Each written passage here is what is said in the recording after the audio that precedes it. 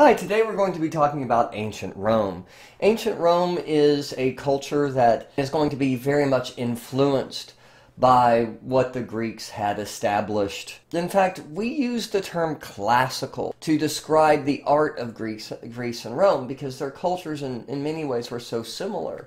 And the reason for this is because the Greeks were such a huge influence on the Romans. And the Romans are going to adapt or adopt a, a, lot of Greek ideas. Roman architecture and art was heavily influenced by Greek architecture and art, and even the Roman form of government, republicanism, where um, uh, people have elected representatives, was derived from the Athenian Greek concept of democracy, based in the humanist principles that man has the right to rule ourselves. I do want to refer to uh, this banner here, the SPQR, the Senatus Populusque Romanus, which means the Senate and the Roman people. The Romans took great pride in the fact that they were a republic and that the, the citizen of Rome uh, took great pride in being a citizen of Rome and having a government that represented them. So um, even the the soldiers marched under the banner when they marched under the banner of Rome. They actually marched under the banner of the Senate. Here's Rome at its height. Now, Rome is a massive empire. And at, at its height, this is a culture that spread from Scotland to Baghdad, guys. It is a huge it is a it is a huge population with millions of people. Uh, and there were also major cities within the the boundaries of Rome itself, not just the city of Rome. The Romans are going to become uh, incredible engineers because they have to build large scale structures within their cities. Um, things like roads, things like sports arenas, things like shopping malls, things like um, large scale public buildings to service these massive populations. So Rome is actually divided into three sort of major historical eras, though. The earliest era uh, was Rome ruled by the Etruscans. So the Etruscans are going to be the other major influence on Roman art next to the Greeks. And then Rome becomes a, a republic uh, with an elected senate uh, after that. And that is going to remain until the first century, around the first century AD, when uh, Rome will become an empire, and that's when it will really spread its borders. This map that you're seeing here is Rome at its height during during its empire. Uh, this is a sort of recreation of the city of Rome itself. We'll see that the Romans borrow heavily in terms of art and architecture from the Etruscans and especially the Greeks. And while you will certainly see the influence of those two cultures in Greek and Roman stuff, um, the Roman Roman engineers were able to build, uh, especially architecture and public architecture, on a scale that the Greeks could never dream of. Um, because the Romans had to take care of these large populations and they had to build these large buildings. And so they became very, very good at designing materials and methods of construction to create massive structures. Rome has always been influenced by the Etruscans and the Greeks because of proximity. Um, if we go back to our map here, of course, you can see, um, you know, Rome was right next to uh, Etruria. It was um, associated with the Etruscans. It was under Etruscan rule, and there will be an Etruscan influence. Also, there were Greek colonies in Italy, and, and Greek culture um, for a period dominated the Mediterranean area. So there will always be a Greek influence. But this Greek influence becomes sort of uh, souped up, if you will, um, because in the year 2011 BCE, uh, a general named Marcus Marcellus uh, conquers the Greek city of Syracuse, and he brings back a bunch of Greek stuff, a bunch of Greek art, a bunch of Greek writings, a bunch of Greek philosophy, a bunch of Greek everything. And this kind of brings a craze to Rome uh, for anything sort of Greek. And uh, the, the, the Roman culture is, is, is um, very much uh, influenced by uh, the Greek culture and art and architecture, and, and this really explodes after this uh, conquering of Syracuse. And even the, uh, the great Roman historian Livy says that there was a craze for works of Greece. Okay, so let's look at some Roman stuff. So what we have here is a small temple uh, located in Rome, uh, dedicated to uh, the god Portunus, a god of harbors. We, of course, get the word port from this. And if you look at this temple, um, you can see that it is um, should look very familiar. Uh, it is a, a, temple that utilizes a Greek pediment. It uses Greek Ionic columns, uh, but there's also a big uh, Etruscan influence here. Let's let's let's compare side by side. Uh, if you look at the Etruscan influence, you can certainly see, um, and of course we know the, the Etruscans also had some Greek influence, but you can see the use of a pediment um, uh, also, the fact that is, this is not a peripteral or peristyle structure like a Greek temple would be, but it's a it's a more typical Etruscan structure where you have sort of a, a, a, stair step leading up only to one side, the front of the building. Then you have a little porch area uh, with columns supporting the uh, the roof.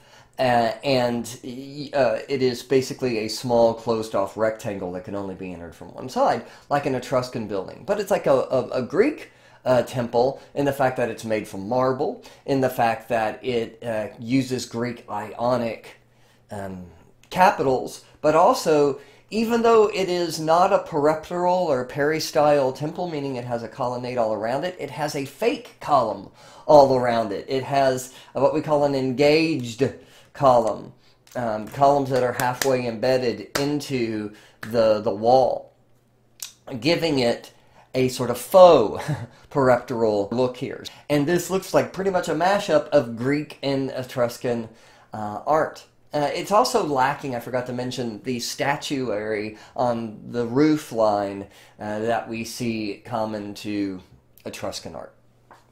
Let's look at a temple slash well, marketplace, really.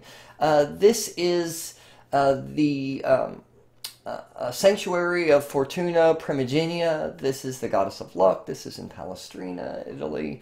Uh, this comes from the late second century BCE. And this is a remarkable example of early Roman um, civic architecture, architecture that is meant to serve a whole lot of people. This is a huge temple complex. That's not just a temple, but there were, it's basically like a shopping mall uh, slash theater slash temple. So uh, the Romans became really, really good at um, handling large crowds of people. Think of like a Disneyland or a theme park where you have massive crowds of people and you have to direct where they go. Um, so this is built into a hillside, and um, the structure is designed uh, with a series of ramps and stairways to sort of guide people uh, and their experience as they enter. But you, this is something we will often see in Roman art, especially our architecture, large civic architecture, is a, a sort of a design aesthetic that directs traffic and deals exclusively with sort of crowd control and managing large crowds. Um, you'll also notice that the walls of this uh, are something very common that you will see in Roman Republican art, and that is a technique called opus incertum, or inserted work. Romans um, would often use concrete uh, as a base, and we'll talk more about this in a moment uh, for their structures, or they would use a brick structure and then cover it with concrete, and then they would embed stones or pebbles into the concrete walls to create this sort of textural effect. Um, opus incertum is what it's called. It's inserted pebbles into a wall. Um, one of the things that made Roman buildings so strong and so powerful and able to withstand such heavy weights was the use of the arch. We should be familiar with this little architectural device. Um, this is called a post and lintel. And a post and lintel is perfectly serviceable. It had been in use, well, since the you know Neolithic era, and many structures built throughout the world use this system, and we've seen it a ton already in Mesopotamian, Egyptian, and Greek architecture.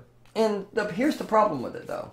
Here's a post and lintel, but the problem is if you put too much weight on top of it, in the middle, it eventually will bend or even break. And that meant that depending on what kind of stone you were using, there was a limit to how tall you could make a building.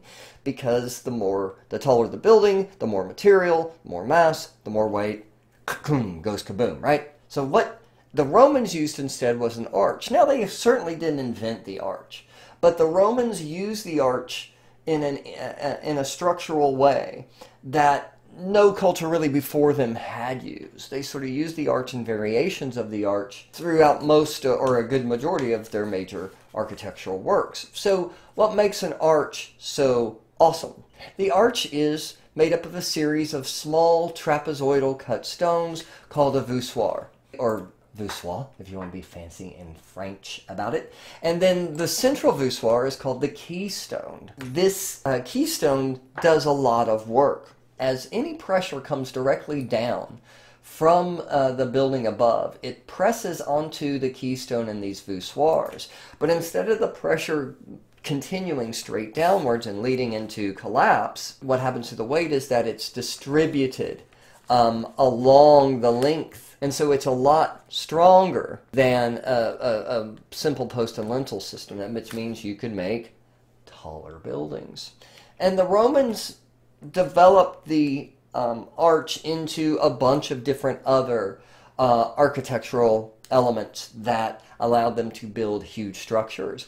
So they realized you could take an arch and you could sort of stretch it out long ways, and like on your upper left-hand image here, create what's called a barrel vault. Or you you could interconnect uh, or intersect those barrel vaults and form what is called a groin vault. Or we could have a fenestrated groin with um, what are known as clerestory window windows that allow in light. Fenestrated is just a fancy word for it has windows. Or you could take an arch and sort of spin it around 360 degrees and create a dome. All of these structures are based on the same sort of principle of the arch that you have that the the pressure is pushed outwards and downwards or what is um, known as sublimated um, down the length of the arch or in, in, in the case uh, over here on the right a dome okay pretty cool stuff right so let's look at some Roman Republican era sculpture.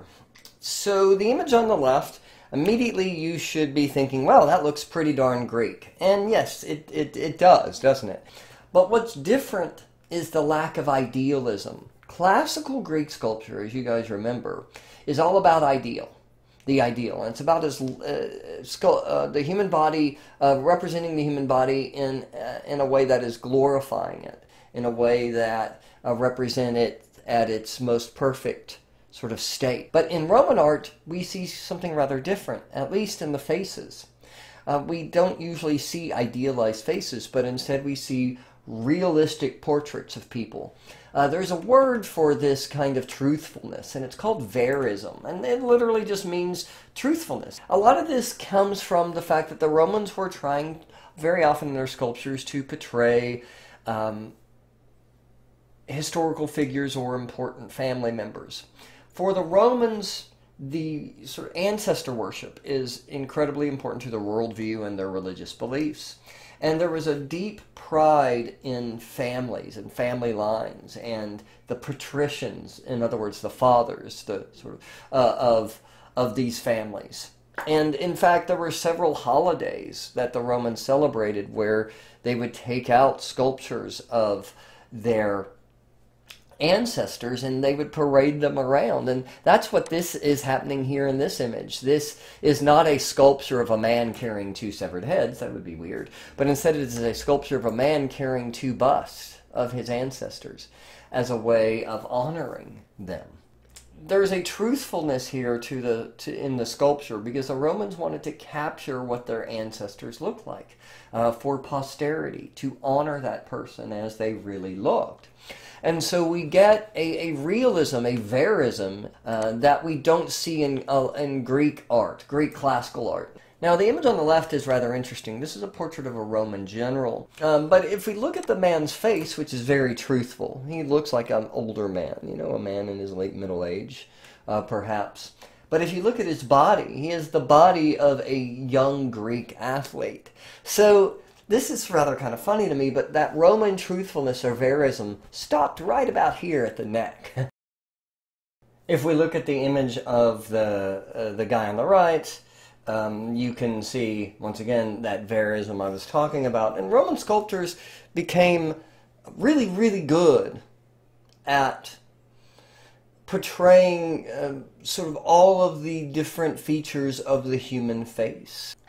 Um, the Romans kept slaves. It is a huge part of of um, Roman culture. By the end of the Republican period, there was something like two million slaves within a, a Roman lands, and and slavery was an important, although tragically sad, aspect of Roman society. Uh, Romans often um, uh, slaves could come from conquest. Slaves could also be people uh, coming from people who sold themselves into slavery to pay off debts. One generally could buy one's own freedom, but typically slaves kept their former masters' uh, names. And that's what we're seeing here. This is uh, the art of former slaves. Um, uh, but they, they kept the name of their former owner, their former master. So Publius Gessius is the original owner, and even though these men bought their freedom, uh, noticed they adopted as their first names the last name of their uh, the, their former owner. You know, when we look back at past societies, it's it can be very difficult uh, because oftentimes the practices of, so, of, those societies are diametrically opposed uh, ethically and morally to the standards by which we live today. But we also need to, um, you know, look at, at, at history with an eye for, well, using this word verism, of truthfulness. And we can't gloss over some of the more horrific aspects of past societies. We have to accept them. We have to under, not accept them as in that they're good, but we have to accept that they existed. And we have to understand them within their context. That doesn't mean we have to like them. But certainly Romans practiced slavery, and there's all sorts of art that references this. The, the portrait was really important in Roman culture, wasn't it? Um, because this idea of, of recording for posterity your face meant that it would be passed on by future generations as a way of honoring you. Around the first century, Rome moves from a republic to an empire, meaning they now have an emperor. They're still going to have their senate, um, but we are going to start to see some changes artistically in this period. Uh, but what I want to look at first is the city of Pompeii, um, because it is, of course, in Pompeii. Uh, in uh, 79 AD, the volcano, this Mount Vesuvius, erupted, leaving the city completely buried in um, layer after layer of ash. Now, while this was a tragic, horrific event, um, it is important um, for historical excavations because the city was left almost completely intact underneath this layer of ash. But the image that you're seeing here are not statues, but rather these are bodies that were preserved and literally sort of turned into ash as the, uh, the, the, massive amount of ash from Mount Vesuvius uh, decimated the town. Uh, people were literally stopped in their tracks. Um, people were on the streets. Uh, you know, we see there's people who were walking their dogs. There are people who were sitting down reading. There were, I mean, just people in their normal everyday activities who were just blanketed by this ash. Pompeii, it is very much a kind of provincial, you know, not huge urban uh, sort of area. And so the art and architecture uh, from Pompeii isn't going to be as grand or as large as the architecture and art as we will see in Rome. But what makes it so significant is how well preserved it was. Rome is a city that's been well occupied and you know inhabited for well, since its creation. You know, Rome has changed and grown, and old buildings have been torn down and added onto, and so there's very few Roman buildings that are preserved in their original state. Pompeii is like a snapshot, a historical snapshot that allows us to see what Roman art and architecture was like at the late Republican, early imperial period.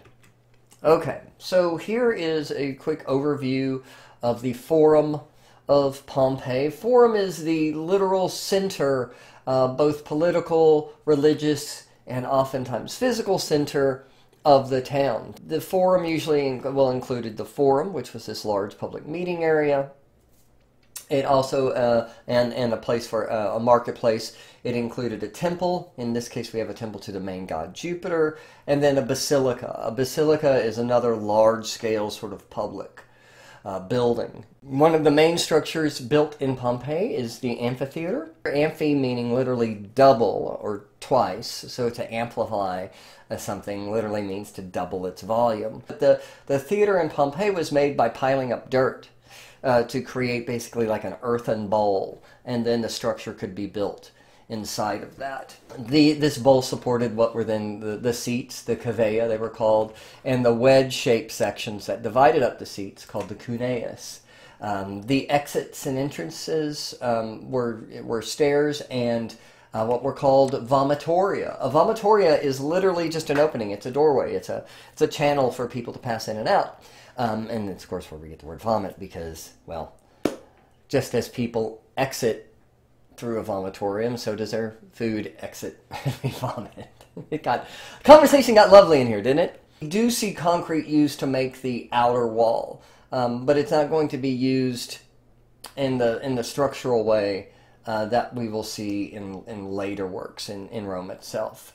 Um, the outer wall of Pompeii is created by what is called a blind arcade. A row of arches is called an arcade. A row of arches that lead nowhere, that basically uh, are there just for decorative purposes, uh, are called blind arcades. Sporting events were held in these in these amphitheaters. We have a, a fresco from one of the walls uh, at a house in Pompeii that depicts this structure. It depicts a very famous event. A huge brawl broke out during um, a sporting event between Pompeii and a rival people called the Nucerians. And this led to a huge brawl that was so bad, actually, that it led to a 10 year ban on games. If you look at the very top, there's this large cloth. This is called a velarium. And the velarium could be sort of pulled over the top of the Colosseum to provide shade. And this is a Colosseum that held 20,000 people, so this is a really big piece of fabric that would have been hauled out to uh, protect these people. But if you really want to start to understand the significance and the importance of Roman engineering. Pompeii is a pretty good place to start. The Egyptians couldn't have built this, the Greeks couldn't have built this, but the Romans certainly did. Let's look at some Roman houses. These kinds of houses weren't common in the city of Rome itself. Rome was much too densely populated, so most people in ancient in the city of Rome uh, lived in apartments. What we see in smaller towns are well, homes or houses. And this is a kind of a typical late Republican, early imperial house. Um, not only were these places where people lived, but these were also uh, often businesses. The front uh, rooms of the house often housed businesses. Sometimes businesses run by the family, or sometimes uh, these spaces were rented out to other individuals. So you have the entryway, the, the fauces, or what's called the throat of the house.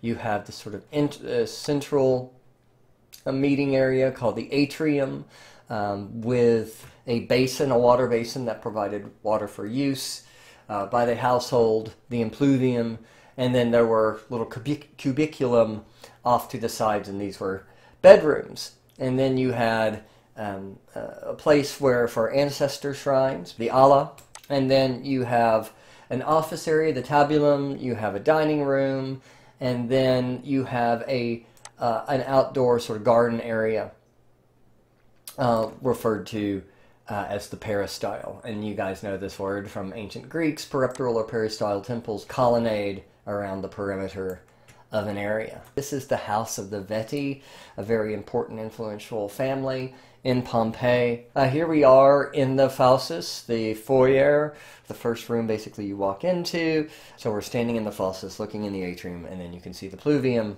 Impluvium here, um, this would have been, of course, filled with water. You can see there's a skylight overhead where water would come down and fill uh, the basin.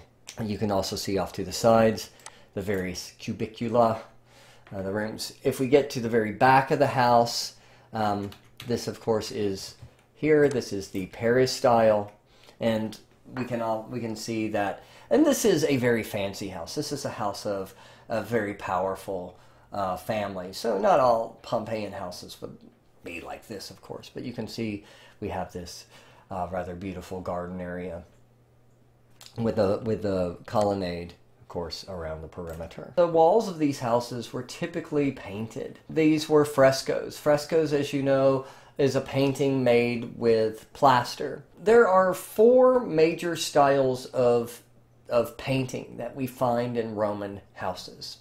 And these really begin in sort of the late second century BC, and we're going to be looking at uh, Roman painting uh, up until really the first century AD. So, um, you know, around 200 years or so of, of Roman art. And just like modern day styles change, Roman styles changed. So the first style is often um, referred sometimes as a masonry style, although I, I often call it the faux finish style. But basically, what it is is this. Um, this is the first style. And if you look closely, you might be fooled at first that it looks like marble or granite or other kinds of stone. But this is actually a painting. Um, this is what is known as the second style, which I call the illusionistic style. The second style uh, was meant to uh, create the illusion that we are looking at a scene of nature or a group of people or architecture, and it was painted in as realistic a manner as possible. And you can certainly see that in this room here, uh, where we see these buildings painted on the wall and these sort of landscapes painted on the wall that give the illusion that you are looking into a garden or looking at a temple. The second style was actually quite impressive in its realism um, because the Romans started to develop something called linear or sometimes called one point perspective. It's basically a mathematically precise way to create the illusion of realistic three dimensional space. And it's based on this idea that uh, you have a horizon line and you have a point called the vanishing point. And then all of the objects appear to sort of meet at that vanishing point in the distance. We are looking at uh, a sort of small circular temple called a tholos, painted in a rather illusionistic way. So it looks like we have a tholos sitting in a three-dimensional courtyard. But second style painting wasn't just relegated to images of architecture and landscapes, but also we see images of people. This is a religious image. This is um, from another villa in Pompeii, and this is known as the Dionysian Mystery frieze. What does that mean? So Dionysus is the Greek and Roman god of wine. And, and there was a whole sort of cult associated with Dionysus, or what was known as a mystery religion. And, and mystery religion started to pop up in the, uh, uh, in the late Republican era of Rome. And these were often religions uh, based in, um, that came from the Middle East. And there were many different mystery religions. But the idea was that they sort of revolve around secret rites or secret practices or a secret kind of transformation um, that um, was basically a mystery that, that couldn't be sort of understood uh, with uh, sort of normal logic, but instead uh, refer to something magical or mystical and we are looking at a rite or a ceremony performed. What exactly that ceremony entailed, we're not really sure. There's not a lot of writings that exists that still exist from this particular cult of Dionysus, but um, it, it certainly involves an initiation where people are being flogged or whipped. But look at the figures here. Once again, we have that Roman verism. Um, this, this, you know, we don't have a lot of these Roman frescoes that survived within Rome itself. And so, like so much of Pompeii, uh, it gives us access to Roman art and architecture intact, Roman art and architecture in a way that we wouldn't have, or we don't have. So let's take a look at the third style. This is much more decorative. It emphasizes the flatness of the wall. It is not illusionistic. This is like the opposite of the second style. And so here is the a third style wall. This is a close up of an image from the third style, but this is what the wall looked like. Uh, it's very decorative. It is um, almost abstract. Um, although we see the use of columns here, but these are impossibly thin columns.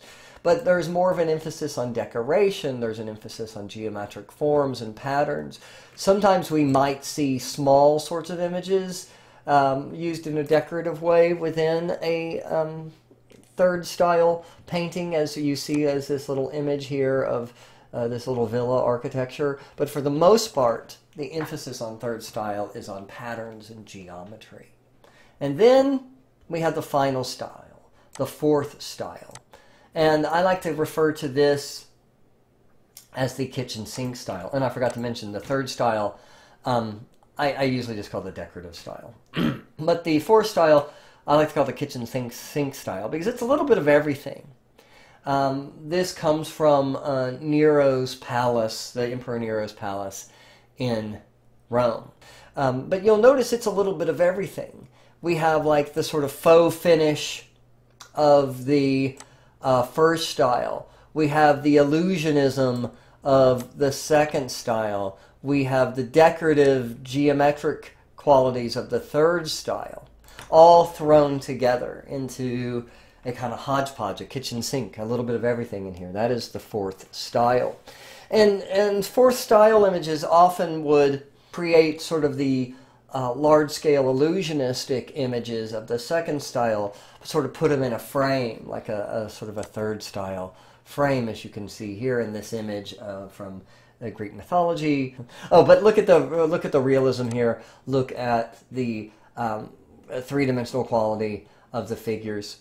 Uh, but what I really want to focus on here is this wonderful image from Pompeii.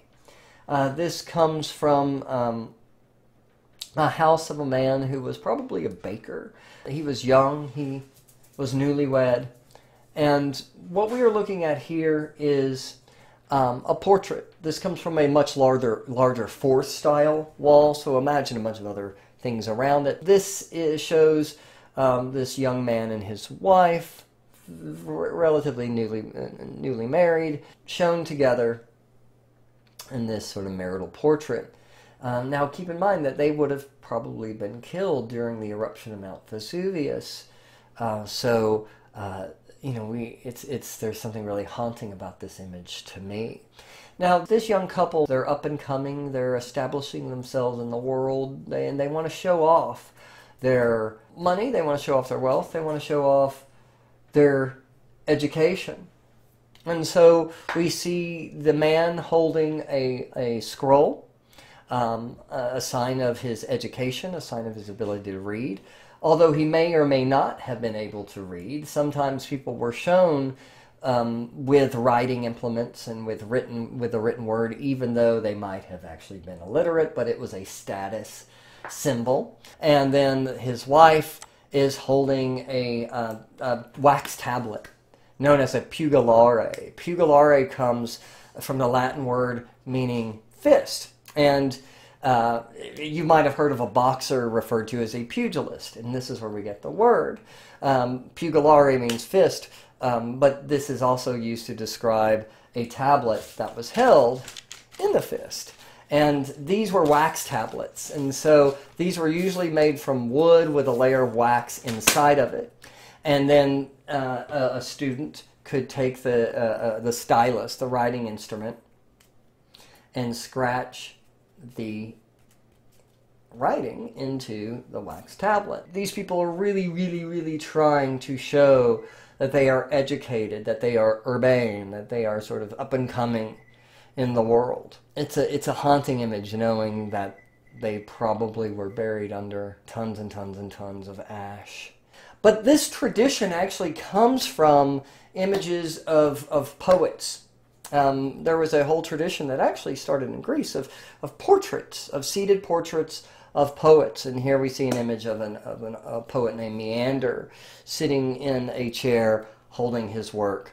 Um, showing that he is an educated man, a man of letters. Um, so this was a big influence on these kinds of portraits in, in Roman uh, in the Roman culture. But also, um, and I'm just sort of planting a seed here, these these author portraits will have a big influence in the Middle Ages when we start to see the depictions of the writers of the Gospels of the New Testament.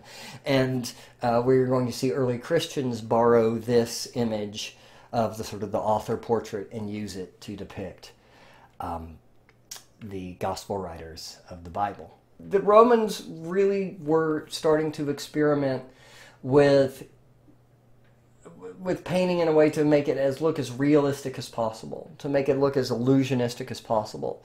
And they would create these paintings that uh, attempted to be something called we call a trompe l'oeil, or a fool the eye. That's what it means in French. It's this it's this technique, um, you know, to create illusionistic images. So, you know, uh, the idea was that you know you could paint an apple so real that people would think it was a real apple.